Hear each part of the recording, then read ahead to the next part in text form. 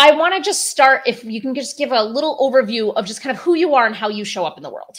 I, I'm positioning myself to be a go-to for for schools that want to really humanize their educational offering, to really be um, taking it to the next level in terms of not not ignoring academic performance, but really putting a human experience into that academic experience, mm. um, if that's what they're choosing to do. A number of the schools that I uh, work with and have studied um, de-emphasize academics. They don't ignore it, but they de-emphasize it and try to make sure that there's more going on.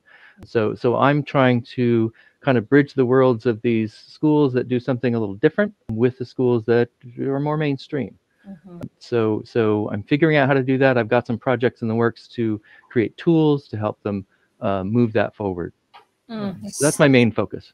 Yeah, that's so good. And so then, what led you to kind of the the realization that putting this into the form of a book could, you know, have a bigger impact? Like, what was the the catalyst? I started out as a practitioner, not a an author and stuff like that. I started out uh, actually it was a micro school before micro schools were a thing.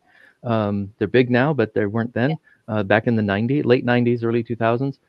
And so I homeschooled other people's kids essentially, and had some really good successes with that. And and was like, wow, okay. But then didn't work out a sustainable business model, and life went on. Mm-hmm. But then I that's always been there. That's always been a like, okay, why did that work? What's going on? And and why are the schools that I appreciate so much so marginal to the industry, so marginal to this big important part of how our society works, and mm-hmm. yet they're you know very much at the margins of it and so so i was like okay that's that's a piece i can that, that my passion is there so i've been pursuing it for you know i, I could easily say this this took 10 years yeah. you know um, 10 years but it took many forms before it actually came out in this form yeah. so so yeah that that's the the the why of it is is really like I had to figure that out, and I put this together to to really express it in one place, move it move that conversation forward.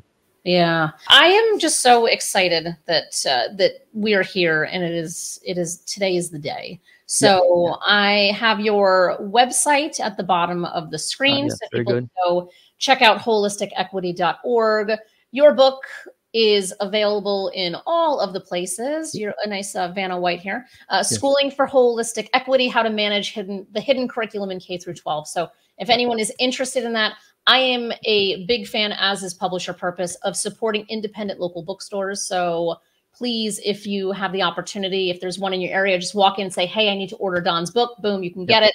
Um, if you don't have one in your area, uh, bookshop.org is an online independent bookstore that does a ton of good in the community of authors and uh, in the world of literature. So uh, strongly encourage them as well. And of course, if you are uh, you know used to just doing one-click purchasing via Amazon, the book is there as well. So Absolutely. whatever makes sense for you, but you know support local when possible.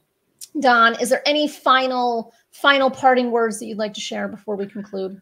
Well, um, I just want to, you know, thank you for for seeing me through this process and and and being a wonderful resource um, in taking next steps for my book. Um, and and really appreciate that and uh, encourage people to yeah order it. Uh, I'm available through my website. Um, I'm I'm just really excited to help serve and and help people humanize their schools. Um, so if there's any way I can help, I'm I'm willing to do it.